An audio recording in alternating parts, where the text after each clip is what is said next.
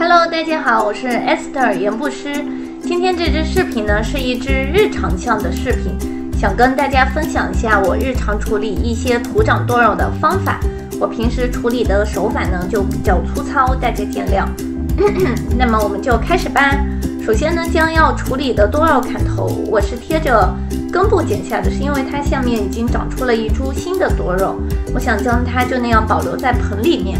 那么一般情况下，砍头后的母株呢都不要丢，几周后就会从枝干上长出新的多肉了。然后将枝干上多余的叶片轻轻掰下，叶子都不要丢弃，留着我们一会儿要叶插。在平时浇水或养护时不小心碰掉的叶子都不要丢。给它们一个重新做肉的机会。砍头的长度呢，可以根据多肉的生长情况，还有个人喜好而定。然后呢，我们找一个容器，将剪下的多肉底部架空垂直放置，等待伤口愈合以后呢，再将它重新种回去。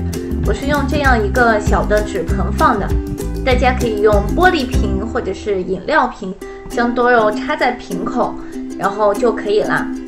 这样放置的好处呢，就是可以让多肉的底部枝干不会弯曲，然后保持空气流通，到时候重新种的时候就更好种一点，然后也更好造型一点。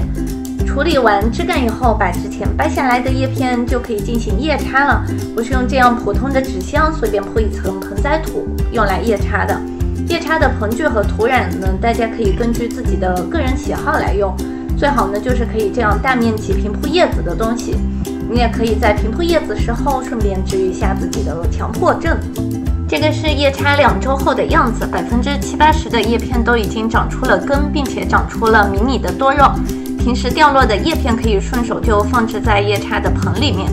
大多数的多肉都是可以用来叶插的。叶插时放置在半阴的地方，不要太阳暴晒。我是三到四天浇一次水，让土壤稍微湿润一点就可以了。之前砍头后放置的多肉伤口已经愈合了，而且也长出了根。我是因为忘记了，所以才放了两个星期。